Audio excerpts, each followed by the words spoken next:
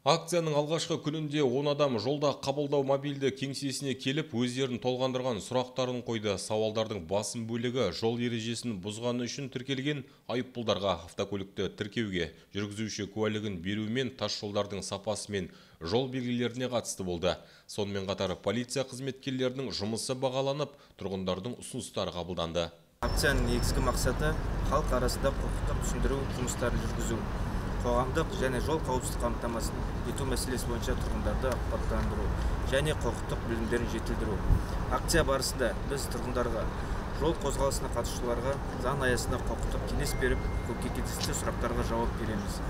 Қазіргі таңда республикалық маңызы бар тас жолдар мен қала аумағында жол көлік оқиғалары жиі кездесіп жатады. Осы ретте сіздерден автокөлік және мотокөлік құралдарына жол көлік оқиғаларын жылдамдықтарды асырмау жол ережелерін сақтау мақсатында қатаң ескертеміз Бүгінде облыста көлік саны жылдан жылға артып келеді. Көліктің көбеюі жол көлік оқиғаларының артуына себепші болып отыр дейді полицейлер. Айтылған шағымдардың басым бөлігі мопед тізгіндеушілеріне қатысты болды. Жыл басынан бері 221 жол көлік оқиғасы тіркеліп, 19 адам қаза тапты, 246 адам жарақат алды. Жасөспірімдердің қатысуымен 19 жол көлік оқиғасы тіркеліп, 18 адам дене жарақатын алды, 1 адам қаза тапты. Жыл басынан бері мопед автокөлігімен 106 жол көлік оқиғасы тіркелді, 53 адам жарақат алып, 5 адам қаза тапты.